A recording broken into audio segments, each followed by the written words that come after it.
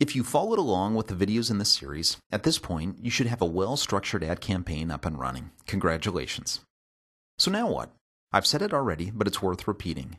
Pay-per-click advertising is not a setup and forget it endeavor.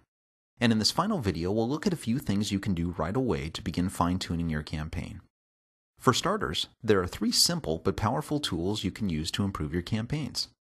Negative keywords, ad targeting, and dynamic text. Let's take a quick look at each one.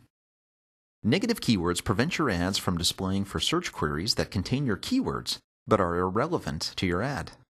For example, in the summer airfare campaign, we bid on the broad match keyword European airfare, which means our ad could display for related queries like European airlines and European cruises. To make sure the ad doesn't display for related searches like this, we would add them as negative keywords. You can add negative keywords to the individual ad groups or to the entire campaign. To add them at the campaign level, click the campaign name. Then click Settings. Here, under Advanced Settings, click Negative Keywords and enter the ones you want. Negative keywords are probably the most important tool to help you achieve your campaign ROI goals, so make sure to take advantage of them.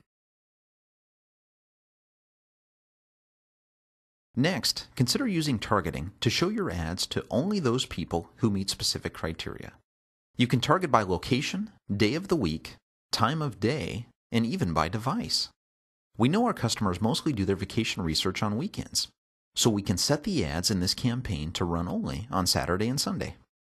Also, we'll have these ads display on tablet devices, which are becoming a popular way to do research. Let's limit these ads to run just in the United States, since our airfare specials are only available to flights originating in the US. By now it's probably clear why this is called targeting.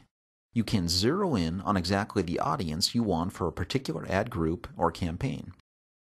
Finally, great ad copy attracts customers, and by using the dynamic text feature, you can get customers to help you write it.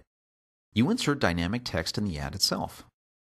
For example, in this ad, if I wanted the title to automatically include keywords I bid on, I would replace this text with the keyword placeholder.